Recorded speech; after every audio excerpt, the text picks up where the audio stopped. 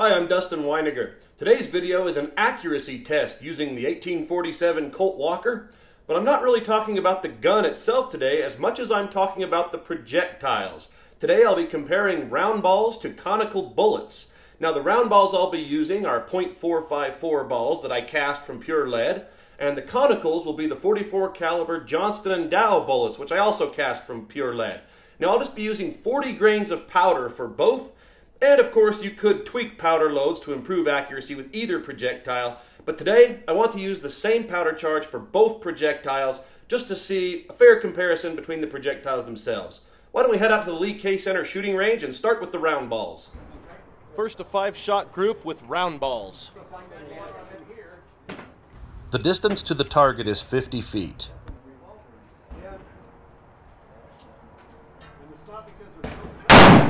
quite a bit. Powder. Dirty, dirty, dirty.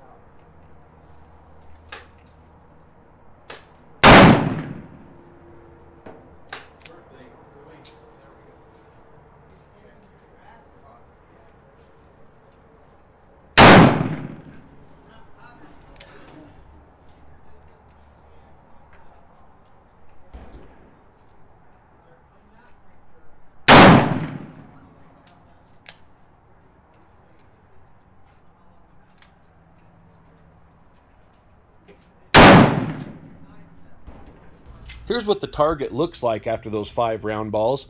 I wanted to pick a small point to aim at for best consistency, and knowing that the walker would shoot high, I chose the bottom corner of this green area marked with a red X on your screen.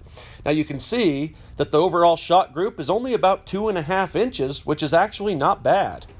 And now the Johnston & Dow conical bullets made with the mold from Eras Gone bullet molds.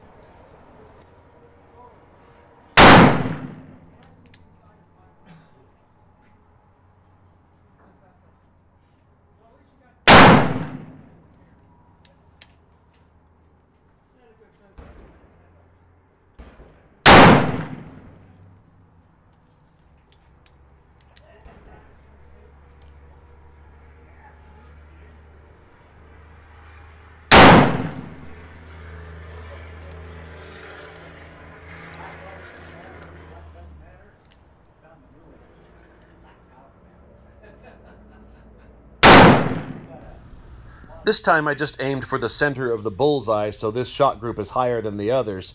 Now, this one, they're all grouped within about two inches. And if it hadn't been for that one that went too high, the rest are otherwise grouped within about an inch of each other. So definitely a much better group than I got with the round balls. And of course that's to be expected because of the conical shape of these bullets.